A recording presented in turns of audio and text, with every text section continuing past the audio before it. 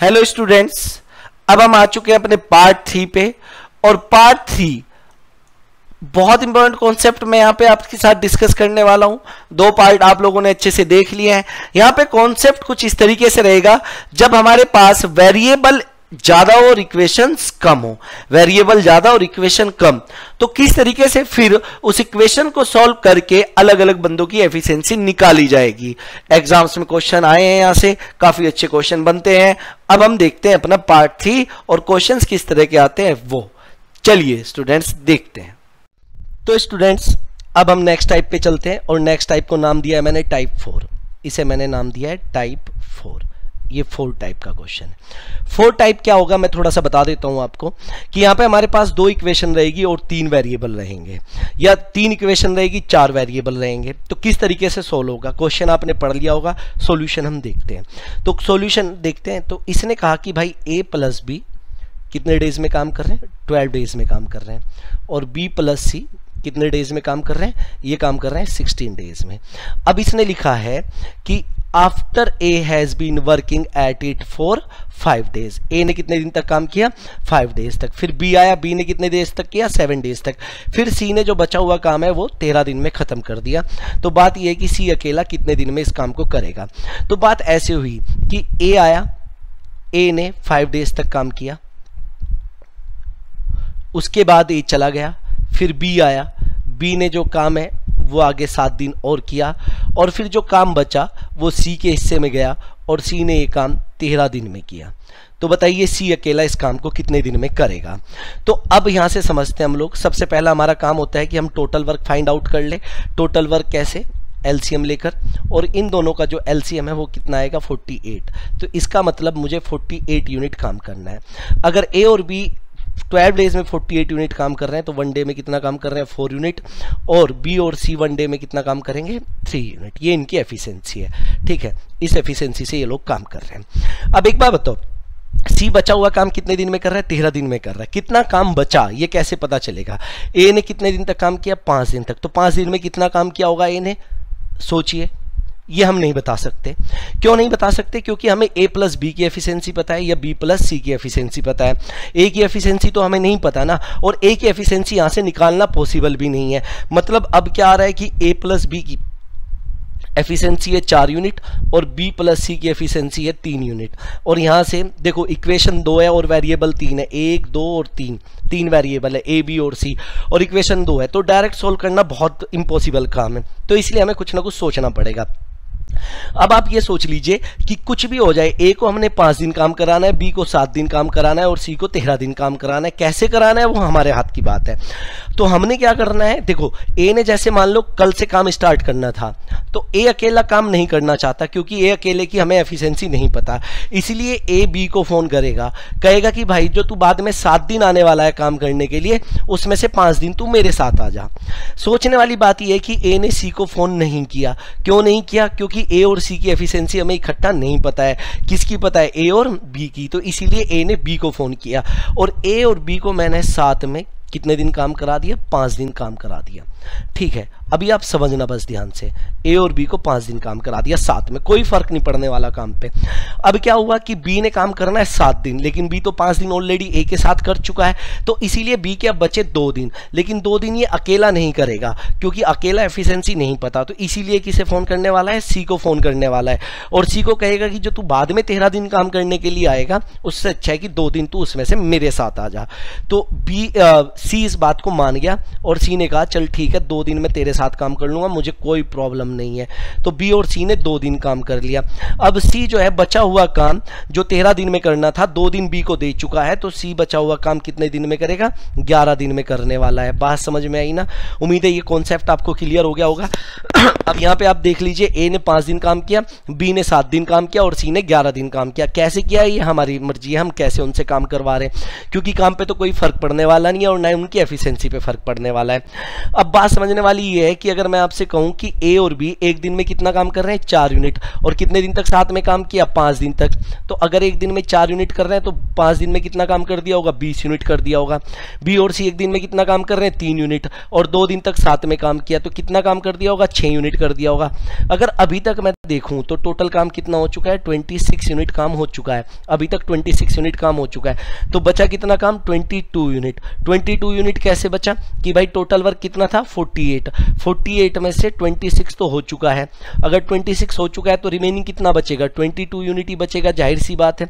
और ये 22 यूनिट किसके लिए बचा? ये बचा सी के लिए। और सी जो है 22 यूनिट करने में 11 दिन ले रहा है। इसका मतलब एक दिन में सी कितना काम कर रहा है? टू यूनिट तो सी की जो एफिशिएंसी है वो क्या आ गई? टू यूनिट पर डे तो सी जो है वो टू यूनिट पर डे के हिसाब से काम करता है। तो सी को कितना टाइम लगेगा? टाइम इक्वस टू क्या होता है बच्चे? टाइम इक्वस टू होता है वर्क अपॉन एफिशिएंसी तो वर्क कितना है यहाँ पे? 48 और एफिशिएंसी कितनी है? टू अगर ये कट जाएगा तो कितना आएगा? 24 डेज़ उम्मीद है आपको ये तो कॉन्सेप्ट क्लियर अच्छे समझ में आ गया होगा। तो इसका ऑप्शन क्या होगा? सी लेकिन एक बात यहाँ पे समझने वाली बात ये है कि अगर यहाँ पे ये बी का टाइम पूछ लेता तो कैसे निकालते? बहुत सिंपल हो गया अब आपके लिए। देखो, यहाँ पे देखो बी और सी दोनों मिलकर कितना काम कर रहे हैं? तीन यूनिट काम कर रहे हैं। जिसमें से सी के हिस्से में कितना काम गया? दो यूनिट तो बी के हिस्से में कितना जाएगा? एक यूनिट काम जाएगा। अगर बी के हिस्से में एक यूनिट गया और ए और बी चार यूनिट कर रहे हैं तो ए के हिस्से में कितना काम जाएगा? तीन यूनिट जाएगा। तो बी की एफिशिएंसी वन यूनिट आ गई और ए की एफिशिएंसी कितनी आ गई थ्री यूनिट आ गई। तो क्लियर है ना क्वेश्चन तो ये बहुत इंपॉर्टेंट क्वेश्चन है, आपके हर एक एग्ज़ाम में इस तरह के क्वेश्चन पूछे गए हैं। ऐसा नहीं, एक दो क्वेश्चन और लेंगे हम। ये टाइप हमारा फोर चल रहा है। बहुत शानदार क्वेश्चन हम लोग ले रहे हैं, उठा रहे हैं यहाँ पे। नेक्स्ट क्वेश्चन एक बार फिर से देख लेते हैं, क्या है नेक्स्ट क्वेश्चन एक क्वेश्चन और सेम हमने ऐसे ही उठा रहे हैं। ध्यान से क्वेश्चन पढ़ना, पहले क्वेश्चन पढ़ लो, मैं थोड़ा सा टाइम दे रहा हूँ आपको क्वेश्चन पढ़ने के लिए। तो ए और B can do a piece of work in 12 days ये क्वेश्चन पूरा पढ़ लीजिए ध्यान से, जब तक मैं यहाँ पे लिख भी लेता हूँ। ए और बी काम को 12 डेज़ में कर लेते हैं, ठीक है? और बी और सी इस काम को करने में कितने दिन ले रहे हैं? Six two by three days ले रहे हैं। कितना ले रहे हैं? Six two by three days D मतलब डेज़ है यहाँ पे, ध्यान रखना। अब इसने कहा कि ए जो है ए इस काम को कितने दिन में कर रहा है? तीन दिन तक। फिर बचा हुआ काम करने के लिए बी चार दिन लेता है और फिर जो और बच जाता है, उसे काम करता है सी सात दिन में। मतलब आप समझ गए ना किस तरीके से काम है कि पहले तीन दिन ए ने काम किया, उसके बाद बी आया बी ने जो आगे चार दिन काम किया और फिर सी आया और सी ने जो बचा हुआ काम है वो सेवन डेज़ में कर दिया। कितने डेज़ में कर दिया? सेवन डेज़ में बचा हुआ काम कर दिया। तो पूछ रहा है, क्या पूछ रहा है? A alone would complete the work A की बात पूछी गई है कि ए कितने दिन में इस काम को कर देगा। ठीक है। अब मैं यहाँ पे ले लेता हूँ एलसीएम ठीक है, लेकिन एलसीएम लेने से पहले इसे थोड़ा सा सिंप्लीफाई करके लिखते हैं। तो ए तो ट्वेल्व डेज़ आ जाएगा और बी का कितना आ जाएगा? सिक्स टू बाई थ्री को थोड़ा सिंप्लीफाई करते हैं तो कितना आएगा? ट्वेंटी बाय थ्री डेज़, ठीक है? अब सबसे पहला काम है एलसीएम लेना। देखो, जब कभी भी एलसीएम लेते हैं तो इस डिनोमिनेटर को इग्नोर कर दो। 12 और 20 का ही एलसीएम ले लो। कितना हो गया? 60 तो 60 यूनिट काम करना था। ये एक दिन में कितना काम करेगा? पाँच यूनिट। कैसे आया? 60 डिवाइड बाई 12 और ये एक दिन में कितना काम करेंगे? 9 यूनिट। बात समझ में आई ना? कितना काम करेंगे? नाइन यूनिट अब बात यह आई कि आप समझ ही गए होंगे कि ए अकेला तीन दिन काम नहीं करने वाला। तो ए अकेला तीन दिन काम नहीं करेगा तो फिर कैसे काम करेगा? तो ए किसे फ़ोन करेगा? बी को। और बी के कितने दिन लेगा अपने साथ? तीन दिन अपने साथ लेगा। तो अब यहाँ पर देखो, अब हमने क्या करना है? कि ए और बी को इकट्ठे तीन दिन साथ में काम करा देना है। ठीक है जी ए और बी को इकट्ठे तीन दिन साथ में काम करा दिया। फिर अब बचा बी बी ने चार दिन करना था, तीन दिन कर चुका है। तो बी का कितना दिन बचा? अब एक दिन। एक दिन वो किसके साथ जाएगा? सी के साथ जाएगा सी को फ़ोन करेगा। तो बी ने सी को बुलाया। कितने दिन के लिए बुलाया? सिर्फ़ एक दिन के लिए। ठीक है, क्योंकि बी के पूरे चार दिन हो जाएँगे, तीन दिन पहले और एक दिन अब। और सी ने जो, अब सात दिन की बजाय, अब सी जो है, कितने दिन काम करने वाला है? सिर्फ़ छः दिन, क्योंकि अपना एक दिन किसे दे चुका है? बी को दे चुका है। ठीक है, अब यहाँ पे देखिए। अगर ए और बी एक दिन में पाँच यूनिट काम करते हैं तो तीन दिन में कितना काम किया होगा इन्होंने? पंद्रह यूनिट, भाई पाँच यूनिट पहले दिन, पाँच यूनिट दूसरे दिन, पाँच यूनिट तीसरे दिन तो कुल मिला के कितना हो गया? पंद्रह यूनिट काम हो गया। अब बात आती है बी और सी की। बी और सी एक दिन में कितना काम करते हैं? Nine unit. और इन्होंने किया भी कितना है? एक दिन किया है। तो एक दिन में नाइन यूनिट इन्होंने और कर दिया। तो कुल मिला के बात यह है कि अगर अभी तक मैं बात करूँ तो फिफ्टीन प्लस नाइन टोटल काम कितना हो चुका है हमारा? ट्वेंटी फोर यूनिट काम हो चुका है। ठीक है, करना कितना था हमने? 60 60 में से 24 यूनिट काम हो चुका है तो अब काम कितना बचा मेरा? 36 यूनिट। जो कि कौन करेगा? सी। अब सी जो है, वो 36 यूनिट काम कितने दिन में कर रहा है? छः दिन में कर रहा है। अगर 36 यूनिट काम छः दिन में कर रहा है तो ज़ाहिर सी बात है, एक दिन में कितना काम कर रहा है? छः यूनिट। तो सी की एफिशिएंसी कितनी आ गई बच्चे? Six unit per day. Six unit per day. अब सी का, लेकिन टाइम तो हमसे किसका पूछा गया है? ए का टाइम पूछा गया है। अब सी ने अगर छह यूनिट कर रहा है, और मैं देखूँ बी और सी कितना काम कर रहे हैं? नौ यूनिट जिसमें से सी तो कर रहा है छह यूनिट तो ज़ाहिर सी बात है बी कितना करेगा? तीन यूनिट ए और बी कितना काम कर रहे हैं? पाँच यूनिट जिसमें से बी तो कितना कर रहा है? तीन यूनिट तो ए कितना करेगा? दो यूनिट कर देगा। तो ए की एफिशिएंसी कितनी आ गई? यहाँ पे अगर ए की बात करें तो ए की एफिशिएंसी आ गई two unit per day clear है ना कैसे आ गई? ठीक है टू यूनिट पर डे तो अब मैं आपसे पूछता हूँ, बताओ ए को कितना टाइम लगेगा? तो आप कहोगे, sir time equals to work upon efficiency होता है। तो वर्क तो 60 यूनिट है और एफिशिएंसी दो यूनिट है। इसका मतलब ए को कितने दिन लग जाएँगे? 30 डेज़ लग जाएँगे, सर। ये आपका आंसर आ जाएगा। क्लियर है ना? ठीक है, बहुत आसान सा क्वेश्चन था। तो ये लेवल टू में भी मैं डालने वाला हूँ इस तरह के क्वेश्चन ठीक है, लेकिन ये बहुत इंपॉर्टेंट क्वेश्चन है, ये एक बार मेरी बात ध्यान से सुन लेना। अगर नहीं समझ में आएगा तो दोबारा देखो, तिबारा देखो। लेकिन इस क्वेश्चन को, इस टाइप का आपका छूटना नहीं चाहिए, बिल्कुल भी। तो नेक्स्ट क्वेश्चन हम ले लेते हैं। ध्यान से पढ़िए, ये भी इसी तरह का क्वेश्चन है जहाँ पे वेरिएबल ज़्यादा होंगे और इक्वेशन कम होगी। ठीक है, लेकिन ये इस टाइप का नहीं है जो अभी हमने किया ये थोड़ा सा इसमें अलग टाइप सी आ जाती है। बस प्लस और माइनस करना है और कुछ नहीं, बहुत सिंपल क्वेश्चन है। तो क्वेश्चन आपने पढ़ लिया होगा, क्या कह रहा है? A firm has tractor of four model चार ट्रैक्टर चार मॉडल के ट्रैक्टर है A B C D four tractors two model of B and one each of model C and D ठीक है plough a field in two days ठीक है तो two model of B मतलब two B और C और D का एक एक। तो सी प्लस डी अगर ये साथ में काम कर रहे हैं तो कितने दिन लेते हैं? टू डेज़ लेते हैं काम करने में।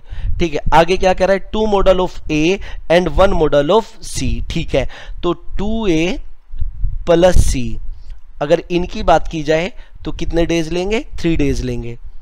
और आगे क्या कह रहा है? Three tractor on each of model A B C तो ये क्या कह रहा है कि भाई तीन ट्रैक्टर ए बी और सी यही लेने हैं और ये काम करने में कितने दिन लेते हैं? चार दिन लेते हैं।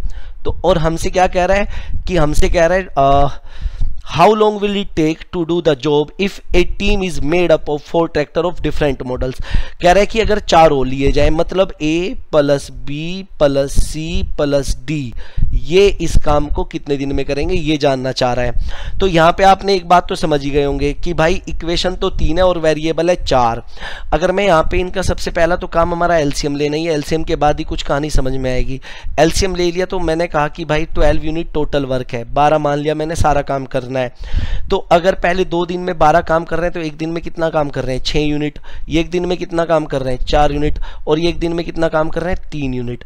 अब एक बार बताओ, मुझे इनका टाइम निकालना है और टाइम इक्वस टू होता है वर्क अपॉन एफिशिएंसी अब वर्क तो मुझे पता चल गया वर्क कितना है? ट्वेल्व अब मुझे एफिशिएंसी चाहिए और एफिशिएंसी किसकी चाहिए? A plus B plus C plus D की. अगर मैं ये लास्ट वाली इक्वेशन देखूँ तो यहाँ पे मैं देख रहा हूँ कि ये जो है A plus B plus C इनकी एफिशिएंसी मेरे पास कितनी है? तीन यूनिट मतलब पहले तीन ट्रैक्टर की तो एफिशिएंसी मेरे पास है तीन यूनिट अब मुझे किसकी चाहिए? सिर्फ़ डी की एफिशिएंसी चाहिए मेरा काम हो जाएगा. अब मैं देखूँ तो डी कहाँ है? डी सिर्फ़ पहली लाइन में है और कहीं पे डी नहीं है। डी सिर्फ़ पहली लाइन में है। और अगर आप एक चीज़ यहाँ पे नोटिस करें तो देखो, अगर पहली दो इक्वेशन भी देखो तो ये क्या है? टू बी, ये क्या है? टू ए और सी प्लस सी कितना हो जाएगा? टू सी सिर्फ़ अकेला कौन रह जाएगा? डी तो अगर मैं पहली दो इक्वेशन को ऐड कर दूँ इक्वेशन वन और इक्वेशन टू को तो क्या बनेगा? Two A plus two B plus two C plus D और टाइम कभी ऐड नहीं होता, सिर्फ़ ऐड क्या होता है? एफिशिएंसी तो सिक्स प्लस फोर कितनी एफिशिएंसी हो जाएगी? टेन पहले मैं यहाँ से टू कॉमन ले लेता हूँ। टू कॉमन ले लिया तो क्या बचा? A plus B plus C और डी रहेगा अलग और इक्वस टू कितना आ जाएगा? टेन और A plus B plus C की एफिशिएंसी अभी हमने देखी कितनी है? थ्री यूनिट तो यहाँ पे मैंने पुट कर दिया। Two into three plus D equals to ten तो कितना हो जाएगा? Six plus D equals to ten six इधर आके क्या हो जाएगा? माइनस तो डी इक्वस टू क्या आ जाएगा? टेन माइनस सिक्स जो कि कितना आ जाएगा? फोर यूनिट पर डे ये किसकी एफिशिएंसी आ जाएगी? ये एफिशिएंसी आ जाएगी डी की. बात समझ में आ रही है ना? फोर यूनिट पर डे तो डी की एफिशिएंसी आ गई हमारी चार यूनिट तो अगर मैं देखो, अब सबको ऐड कर दूँ तो कुल मिला के अगर सभी की बात करें तो कितना काम करेंगे? सेवन यूनिट पर डे के हिसाब से काम करेंगे. तो इनकी एफिशिएंसी आ गई सेवन यूनिट पर डे और time equals to work upon efficiency तो वर्क तो मुझे पता था बारह है, और एफिशिएंसी कितनी आई है यहाँ से? सेवन तो कितना टाइम लगेगा? ट्वेल्व बाय सेवन डेज़ अब हम देख लेते हैं ऑप्शन किस फॉर्म में है. तो ऑप्शन या तो हो सकता है वन फाइव बाय सेवन की फॉर्म में, या हो सकता है इसी फॉर्म में। तो इसी फॉर्म में दिया हुआ तो ऑप्शन कौन सा ठीक होना है? हमारा डी ऑप्शन ठीक होना है, क्योंकि क्या हो जाएगा? ट्वेल्व बाय सेवन तो इस क्वेश्चन को भी आप देख लेते हैं कि भाई यहाँ पे भी हमें कुछ ना कुछ ऐड करना पड़ा। ए बी सी की एफिशिएंसी हमारे पास आ गई डायरेक्ट तीन यूनिट डी की एफिशिएंसी निकालनी थी। मैंने पहली दो इक्वेशन ऐड कर दी। या आप तीनों इक्वेशन ऐड कर दो, तब भी डी की एफिशिएंसी इजीली आ जाएगी। तो पार्ट थ्री हमारा कंप्लीट हो चुका है। यहाँ पे आप देख चुके हैं कि अगर हमारे पास दो इक्वेशन होती है और तीन वेरिएबल होते हैं तो क्वेश्चंस को किस तरीके से, किस अप्रोच से सॉल्व किया जाता है। यहाँ से मैंने और भी लेवल टू में बड़े अच्छे अच्छे क्वेश्चन लिए हैं। तो वहाँ पे अगर आपने क्वेश्चन करना है तो यहाँ पे आपने अच्छे से पढ़ना पड़ेगा, चाहे दो बार पढ़िए, ठीक है? और आपने पढ़ा भी होगा बहुत अच्छे से। Thank you